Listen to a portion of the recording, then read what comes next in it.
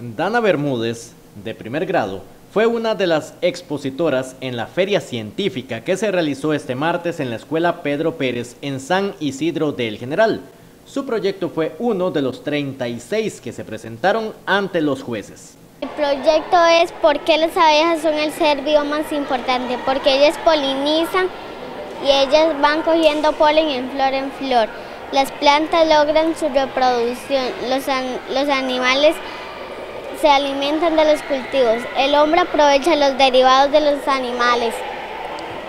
El ciclo de vida de las abejas son, la reina pone un huevo, la obrera lo alimenta, ella va creciendo, la obrera la tapa, después la, abeja se transforma en pupa y después la abeja abandona el nido. Hay tres tipos de abejas, la reina, la obrera y el zángano. La reina es como la mamá de las abejas, la obrera es la que recolecta todo y el zángano es como el papá y el macho y él no hace nada. Esta es la casita de ellos y, ellos, y ellos también hacen cera y miel, que esto lo que está aquí es, es el miel y esto es cera. Después, hay más de 20.000 especies de abejas. Ellas pueden recolectar ellos pueden visitar, pueden visitar 100 flores por viaje. Otro de los proyectos que fueron evaluados fue el brazo hidráulico de Pablo Moraga. Como pueden ver aquí, es, sirve para levantar objetos pesados, nada más que esto es una descripción a escala, eh, es una lata.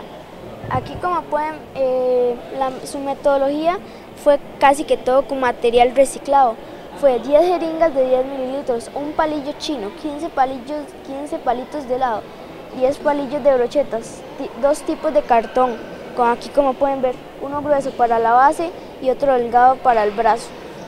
Eh, cinta adhesiva, taladro y brocas, lapicero, cúter, pegamento, un alicate, pistola, silicón, agua. Eh, esta palanca es para que se mueva, aunque voy a subirlo más. Esta es para que se mueva izquierda a derecha, como pueden verlo. Esta es para que levante esta parte.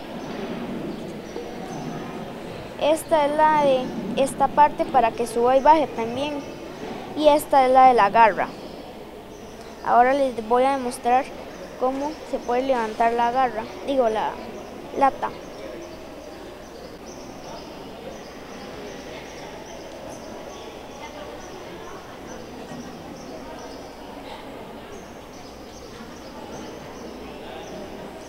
Y ahí como pueden ver, él, lo, él mueve la lata.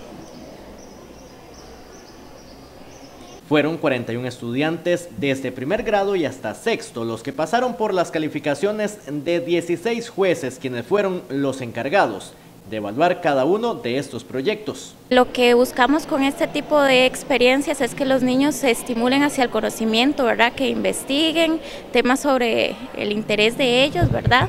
Y que formen un criterio para que puedan venir y exponer a, jurados, los mismos estudiantes. Eh, además, ¿verdad? Es como salir de la rutina diaria de las aulas, de todo lo que está estructurado. Ellos aquí hay temas desde las abejas, brazos hidráulicos, em, ventiladores caseros, de cosas que para ellos son importantes, ¿verdad? Ellos vienen aquí y defienden. Un día lleno de ciencia en la escuela Pedro Pérez Celedón.